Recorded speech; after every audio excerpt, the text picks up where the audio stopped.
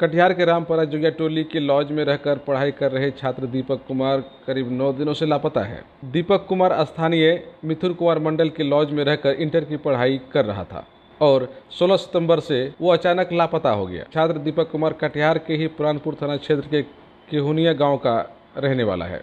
इस संदर्भ में छात्र दीपक कुमार के पिता ने बताया कि 16 सितंबर से ही उसका पुत्र लापता है और एक सप्ताह से ज़्यादा का समय बीत जाने के बावजूद भी अभी तक उसे नहीं ढूंढा जा सका है, जिससे घर के लोग काफ़ी परेशान तो है ही। साथ ही उन लोगों के मन में तरह तरह की बातें आ रही हैं। और स्थानीय पुलिस में शिकायत करने के बावजूद भी पुलिस अभी तक इस संदर्भ में कोई ठोस कार्रवाई नहीं कर पाई है, जिससे कि दीपक को बरामद किया जा सके।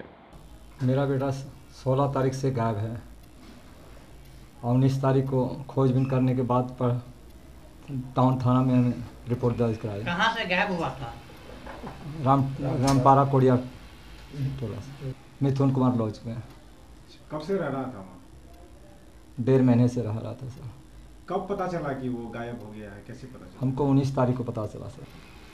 हमें तो इसके विषय में कुछ जानकारी नहीं सर। वो पढ़ने आया था। आज तक उसका कोई शिकायत नहीं आई जो हम उस पर लड़का का मानसिक स्थिति में कोई परिवर्तन क्या वह दिमागी रूप से ठीक था? हाँ एकदम सर ठीक था सर। किसी पर कुछ शक वगैरह है? किसी पर शक नहीं है सर।